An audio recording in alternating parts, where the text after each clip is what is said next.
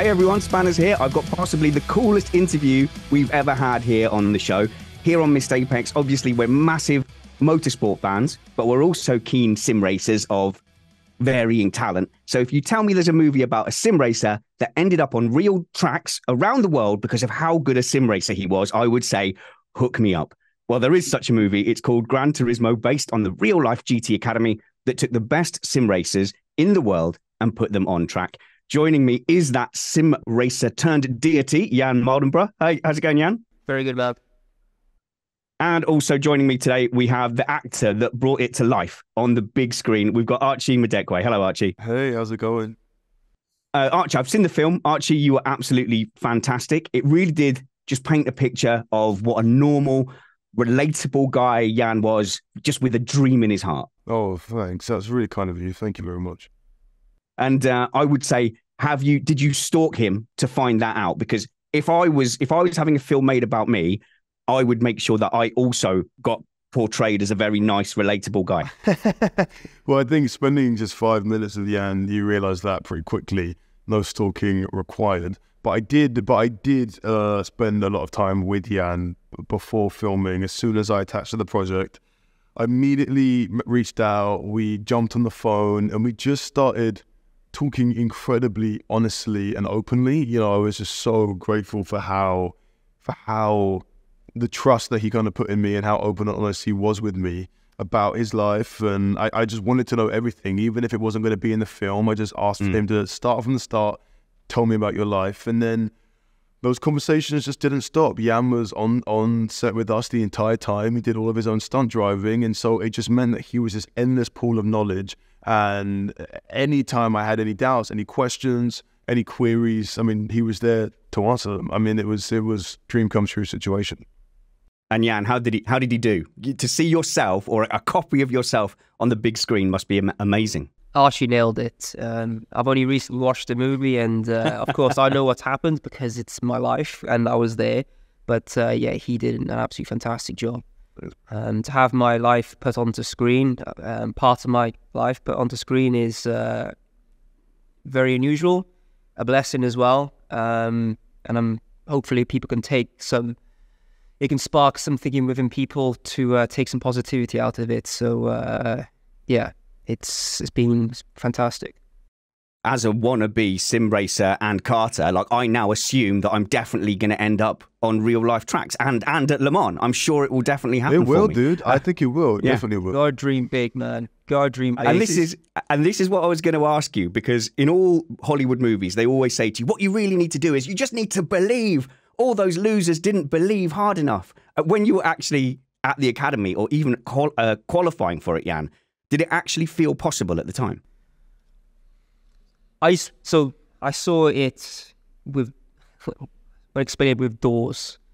So I was presented with a door with GT Academy in position of my life, just dropped out of uni, and this door had kind of uni was closed. So I was like, okay, Grand GT Academy, okay, that door. Let's see how far we can go. Let's open that one and then let's open the other ones, and then of course one, and then presented with this this uh, childhood dream, and just to see how far I could go. But the intention was my intention was to see how far I can go, but it was I never thought I could win. Only up until the last day, where really the last race where I had a chance. I thought I had a chance of winning. It wasn't like I'm going to win. It was like I have a chance. Uh, it was a very strange mindset, but it's done me well. But I was very sure ever since I was probably 11 that being a racing driver is what I want to do with my life. And if an opportunity presented itself, I'm all in. Uh, I had to wait yeah. a long time for that to happen and be very lucky as well. But I never let that candle, that little fire, go out completely because life throws mud and dirt and darkness at you, but uh, it was always that, and I was at the right place at the right time, and then put in the work. You obviously believed exactly the right amount to get you to, to where you were. But I, uh, as a as a you know keen sim racer myself, you know I was watching the hand movements and the racing in the cockpit. Archie, I have to say, you were incredibly believable as somebody you know facing the physical shock of a, a sports car. So I do wonder. I know I know Jann was doing some stunt driving, but how much did they get you involved or bully you into doing some track racing or some sim racing? Any time you see me in the car, I'm in the car going at full racing speed. There is not there is no shot where it's static or going slower. I'm at full racing speed, and so and the the shock, all of those things, all of that is real. Was real. Uh, that is very very real. It was truly one of the most difficult things I've ever done in my life. Sim racing wise, I mean, I was I, months before I got there. They sent me a whole GT setup, and I had an unbelievable racing instructor, David Perel, who had a very similar story to Jann. Was a sim racer, and I races for Ferrari. And we would just every single day, we would just practice, practice, practice, because it is all it's just repetition with with GT and just learning wow. those tracks and learning those corners and I would have him in when I was in the car. I'd have him in one ear, reminding me like hand placements and and and and and just a, a, anything that I needed to do to make it more believable. I was constantly being told, and uh, and then and then yeah, the the yeah, the car, the car, the car, the car, the car. Just it was just it was. Uh, you, I don't know how much money you would pay me to do it again, but it's. Uh, I'm glad. I did it. The film's definitely worth it. I'm sort of disappointed. Like, Archie, that was such good acting. How did they recreate that? Well, they threw me around in a sports car until I was terrified. Basically, it was not. I'm sorry. I'm sorry. I, there was no acting. Like, it's all my sweat. It's all Love it. all that G force. I mean, when my face moves, it's because my face is moving at 160, 70 miles an hour. It was just ridiculous craziness. And and Jann, how close to to real was that? Because obviously, you would have faced that shock from a sim rig into real life race cars. The film really portrays it as, oh dear, what what what have I got myself into? Yes. Um, however, uh, you know, getting into GT Academy and winning it, my mindset was okay. Whatever is required of me to be the best I can be in racing with all my mentors, I'm going to have to do that. It's fine. Let's go through that. So yes, it's extremely taxing on the body. Yes, it's very intense with uh, press, um, very intense with racing on circuits. You have rivals, you have the self evaluation, the, the self doubt at, at, times as well, everything. So it's, uh, but I was prepared for that because this is what I want to do with my life. It gives me purpose. Mm. So with all that going on, actually driving the car, the bit you love, was probably, you know, you get in the car and you go, okay, well, I've got this bit. I know what I'm doing here. So, you know, there's a saying in, uh, he talked to a lot of drivers, and uh, before the race, there's so much stuff you've got to do. And the moment where it's the most peaceful and most calm is the moment just before the start of the race. Mm. You put on your helmet, everybody goes away, all the team go away, all the press go away, all the mechanics and interviewers, and just you strapped in your car, really tight with your helmet on. It's just like, ah, engine's just about to get engines on. You're not yet racing, but it's like, ah, finally I can do what I want to do and do the best thing. And uh, it's it, for me, it's it's bliss. It really is bliss. It's the best, best. Well, well, how did you rate Archie once he, you know, got thrown in the cars and got, got given his sim rig? So uh, Archie, seeing what he went through, um, you know, Archie, these cars are small. They're not uh, they're not big cars, and they're made out of carbon. And usually, well, all the time, when a driver sits in the car, we have a seat, a nice uh, kind of foam padded seat. Archie's very tall.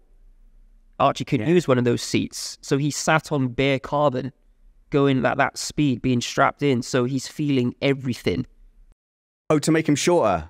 What? In order for him to fit in the car without the helmet. Oh, wow. The helmet was touching at some points. Has to sit on, on dry carbon. So you know what a race car is like. It's millimeters from the ground. He's feeling everything through a carbon chassis. No, no compression or anything. So, and he's acting as well, and he, he knows needs to know where the corners go, and got lines.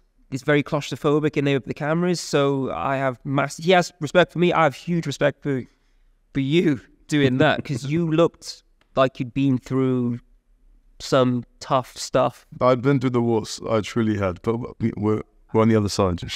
Well, as a five foot seven gentleman, I'm glad you were uncomfortable in that car and hit your head on the cockpit. That makes me I'm feel sorry, really man. happy. Listen, haters gonna hate. I don't know. To, I don't know what to tell you. I don't know what to tell you. I tell you what, Archie. People are going to see you in this film and they're going to want you in their movies. But um, you know, this young, this early in your career, working with huge stars like Orlando Bloom. I want to ask you, like, you know, what's he like to work with? Because he's he's talented, charming, ridiculously good looking, even in his forties. Give me something. Tell me he had like milk breath or something. I don't know what to tell you, bud. He's lovely. I mean, it Man, just is, and I'm and I, I'm sorry, it's true. Like everyone is. At the end of the day, when you get everyone's at work and you know everyone cares, especially on a film like this, it was a lovely thing. Everybody just really was so excited to be there, and everyone just everyone was just on great form. It was just so lovely. So there was no, you know, there's no time to to worry about who who you know, what who somebody is or what somebody's done or etc. Everyone is just locked into character and how do we make this film the best film it could possibly be. So all of that stuff is is you know this it goes out the window pretty quickly. Everyone was lovely because uh, Djimon Hounsou completely. I hope this is not a spoiler, but I completely believed him as like the the stern dad. And I can't imagine that. Is it? Kindest man in the world. I mean, he could So they say cut. and he is just smiling, laughing. I mean, he you could not find a nicer human. Truly, he is the loveliest, loveliest person. I would work with him again and again and again. He is just great. There's a great dynamic be- between between all of you, and of course, you know my my kids got very excited. I haven't seen it, but Stranger Things, the the dad in that, and when you've got like um, a a mentor guiding someone through, and you you realize that you know people are, are trying to impart knowledge, but also they've got their own stories as well. hmm Yeah, that's the that's the really lovely, clever thing about the script. Is you know, it's a it's an underdog story for Jann, but it's also an underdog story for Jack, and they kind of find this harmony between the two of them through that together. It's it's lovely. It really was. And I'm going to get a bit Star Trek convention-y here for, for Jann. You know, when they say uh, in episode 54, the, the, the, the laser light from the photons. Okay. Um, in the movie, Archie's using a Logitech CSL uh, direct drive, which is at the moment, yeah, it's really good value, entry level direct drive, about five or eight newton meters of force feedback, which is significant. You can feel the feedback from the tires. But when you were starting out doing sim racing, and this was all around 2010, like you didn't have access to anything probably as good as that. So I had access to a um, a Fanatec Turbo S wheel, um, which was belt driven, Belt right. and I'd had So that that's less. less force. Yeah, I had that less than six months. Uh, so I'd only had a wheel six months when I entered GT Academy, and I only had that wheel and Wow. pedals because I was so fed up of playing with the place with the controller um, that I wanted to take the experience to the next level. So with the money that I had as a gift, well, not as a gift, but my GCSE results, my A level results, my parents gave me some money thanks to my kind of average results. And I used that three hundred pounds to buy this wheel and pedals, and the frame that I used to qualify. I built that in school, um, which is represented in the You see it in the Wow. film, the frame. That's it. It's a it's exact. Is it the actual one or a replica?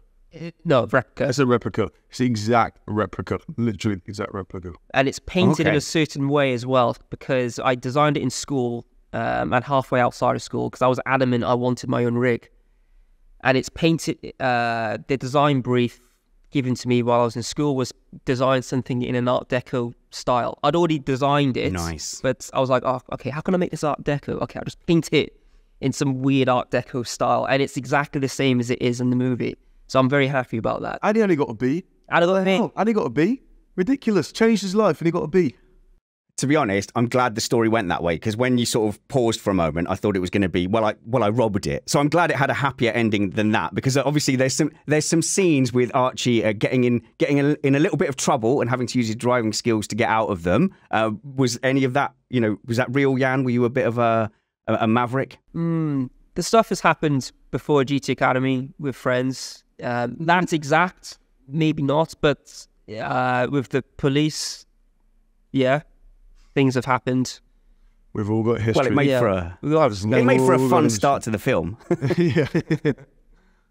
Yeah, it's really good. And one of the things about the film is it's um it's an assault on the senses. It really focuses in on on the car, Archie, and it's all about you know being in the car, having those those lines in front of you, and, and imagining you know the the racing line that you'd see on your on your PlayStation and trying to adapt that to track. But I just I just loved. It's not really a question, is it? I loved the fact that it was just a pure motorsport assault on you in your cinema seat. Yeah, that's I mean that's that's what that's the genius of Neil Blomkamp. I think he was so uh, so adamant. That's part of the reason why he wanted everything to be done practically because he wanted everything to feel to feel so real. He wanted you to feel the heat, feel the speed. And I think you really do. I mean, it's kudos to him and the our unbelievable DP and the Camops. Like we just we just were able to get in so close to really feel to really feel every kind of every breath of those cars. It's amazing. And I know there's going to be some wish fulfillment here for from my viewers and listeners looking at Jann's story. And so we were talking about your your belt driven wheel. When you got on track, how much of your sim racing experience and how you felt your belt driven wheel in your hands, how much of that helped you when you got in the car or, or did you go, oh, wow, no, no, this is totally different? Well, it's all I had. So I was surprised how normal it felt, the transition going from, say, that to jumping in a GTR at Silverstone for the first time, knowing the circuit. That's something I've just realized as well. I knew Silverstone like, yes. like I do today. But uh, the way that the car handled, the way that the car would pitch and yaw in corners, your throttle brake inputs, the your steering, it's all that's all I had. I never did karting or anything like that. The only added sensation which I needed to tune with what I was getting through my hands was the vibration through my backside and my back. It was combining that that added sensation and trying to align it with my vision and what I'm feeling through my hands. And that took that's not easy to develop straight away. So it took a while to trust it as well. Um, to know where the limit is, you have to go over it and kind of peg it back. And just to get those senses in a line, it's uh, it's a bit of a journey, and especially with the eyes as well. So, but the way the car acts, it's uh, I was I was kind of like, oh, it's working. Okay, I have to do this. The car normally does this. Okay, it's doing this in real life. Okay, cool. I can trust that. I, I'll remember that. Nice. And it just worked, you know. And uh, now people would take it not granted, but they just assume, yeah, if I drive this particular car on here, it's going to behave exactly like that in real life, and it does. That's just testament to uh, well, yeah. the technology of Gran Turismo, the attention to the detail that they have. So I'm I'm no good, but I have had a driver coach, you know, teach me how to detect uh, understeer, oversteer, when I'm in the car, you know, it goes light, you're understeering, and you can feel like the grip up as you get to the edge of adhesion. And when I've taken that onto a kart track, I've literally gone, wow, it it feels like that. And you just go, oh my goodness, you know, the, the sim isn't a complete complete waste of time, Nick. What would you know? Uh, but one line in the movie, I need to know whose idea this was, is when Archie, uh, you corrected uh, a friend in the in the in the movie that it's it's not a game, it's a sim, and that is something all us sim racers say at home over and over again. And you know, I run these big tournaments and and and there's 200 people there. They're all treating it seriously. And my wife will say, "Are you off to play your your little game?" And you go, "No, it's not a game. It's a sim." But whose idea was that? I'm guessing that was, that was Jason or Zach's. I don't think that was nice. improvised. I think that was in there the entire time. Yeah, it's a conversation we've had uh, as well in person with uh, with Jason. It's. Uh, I remember it's uh, it's it's a sim. It needs to be a sim. It's not a game it's not arcade. It's not, you know, something you, you know, it's a simulator. So yes, that was uh, that was in the that was in there. Uh, to Jann, to Archie, and uh, on behalf of, I'm going to speak for the whole sim racing community. Thank you for making this movie. Thank you for representing our world, and good luck with the rest of the tour.